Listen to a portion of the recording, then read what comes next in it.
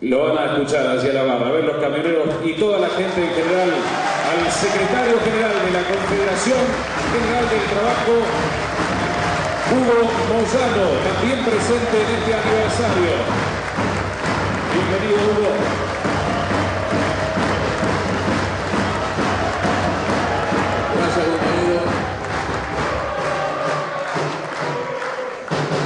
después de haberlo escuchado Juan Carlos, no hay mucho que agregar,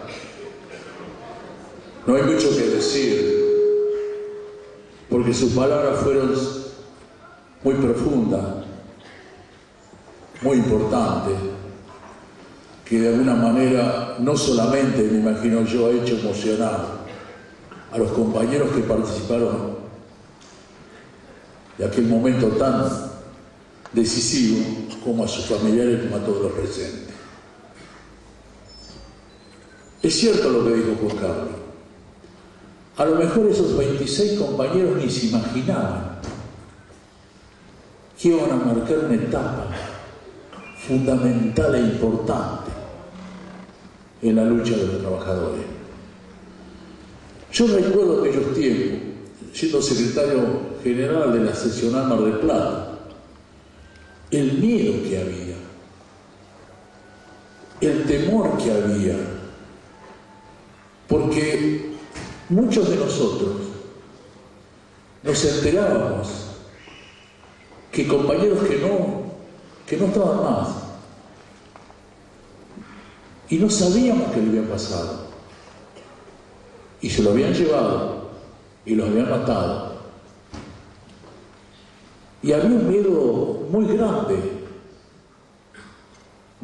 en toda la sociedad y en particular en las organizaciones gremiales, porque eran muy controladas, muy perseguidas. Por eso que cuando aparece esta reacción natural del ser humano en tomar una decisión, seguramente los compañeros que estaban en ese momento habrán tenido sus temores. Pero hay algo fundamental, compañero, que siempre lo expresamos. Todos tenemos miedo, pero lo importante es que la dignidad supera el miedo. Y los compañeros tuvieron más dignidad que miedo, por eso llegaron adelante ese momento histórico.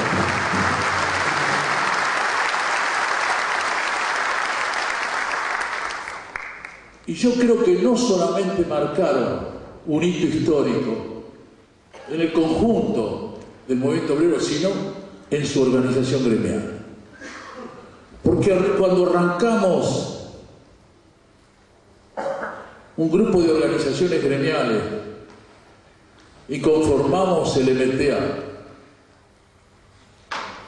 había un gremio relativamente chico había un gremio que no era sinceramente muy conocido, pero ese gremio estaba permanentemente encabezando la lucha, las movilizaciones, los paros y todo lo que en aquel momento decidía hacer aquel grupo de organizaciones gremiales. Quiere decir que creo yo que esos compañeros que tuvieron la decisión hace 30 años marcaron también a su organización y le marcaron el camino para que sigan en ese camino de lucha. Y los compañeros lo cumplieron permanentemente. Es cierto lo que decía Juan Carlos también con respecto a la dictadura financiera que se instaló en el país en los años 90. Cuando la dictadura militar hacía desaparecer gente, la dictadura financiera hacía desaparecer chicos porque se morían 54 chicos por día de hambre y de necesidades. Cuando la dictadura financiera, dictadura militar torturaba gente, la dictadura financiera torturaba a nuestros jubilados, que le pagaba sueldos de hambre y de miseria, y se morían muchos viejos por necesidades extremas que tenían. Y cuando la dictadura eh, militar dejaba y torturaba a nuestros jóvenes, La dictadura financiera la dejaba sin trabajo y cerraba nuestros establecimientos, perdiendo puestos de trabajo. Así que era similar. Una dictadura que utilizaba la fuerza y otra dictadura que utilizaba el dinero para corromper a nuestra sociedad y llevarlo a situaciones extremas de hambre y de miseria. El objetivo era el mismo. El objetivo era quitarle a los argentinos las riquezas que tenemos los argentinos y quitarle a los argentinos el esfuerzo y el trabajo de todos los argentinos. Es lo mismo. El mismo objetivo con diferentes formas de lograrlo. Y nosotros tuvimos un conjunto de organizaciones gremiales la decisión de salir a pelear. Y es cierto, no nos alcanzó. No pudimos llevar adelante una pelea de tal forma que pudiéramos doblegar lo que en la dictadura del 90 nos aplicaba a través de los modelos económicos perversos. Pero seguimos peleando, seguimos peleando en aquel entonces. Cuando vino el gobierno de la alianza, como bien nos fijó Juan Carlos, y seguimos peleando. Y nosotros decíamos claramente, no peleamos contra el gobierno, peleamos contra el poder porque el poder era el que implementaba los modelos económicos de hambre y de miseria que nos llevaban los argentinos al endeudamiento y a la situación que explota a fines de 2001. Y seguimos luchando, seguimos peleando. Y hoy en día, como bien lo dijo Juan Carlos, hemos tenido, de alguna manera, se ha plebiscitado al gobierno del presidente Kirchner. Y la inmensa mayoría del pueblo apoyó la gestión realizada en los últimos cuatro años. Porque como dijo Carlos, hemos logrado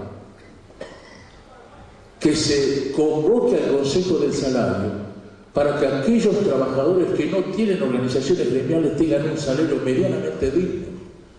Y hemos logrado también que se convoque a las paritarias para que los gremios y las organizaciones gremiales tengan la posibilidad de discutir no solamente salarios, sino condiciones de trabajo. Y este es un arma fundamental que tenemos. Este es un instrumento fundamental que tenemos. Porque todas las luchas que se dieron desde la Confederación General del Trabajo en años anteriores no solamente era contra la dictadura militar que ampliaba y mataba a la gente, sino reclamando fundamentalmente a la discusión libre de paritaria. Durante muchos años se esa lucha y ninguna Confederación General de Trabajo desgraciadamente consiguió lograr que el gobierno le posibilite la discusión paritaria y nosotros lo hemos logrado. Y como lo hemos logrado, vamos a cuidar este instrumento que tenemos. Si habla en nuestra sociedad de la posibilidad de un pacto social, un acuerdo social o algo parecido. Pero algunos creen que el pacto o el acuerdo social va a significar el congelamiento de salarios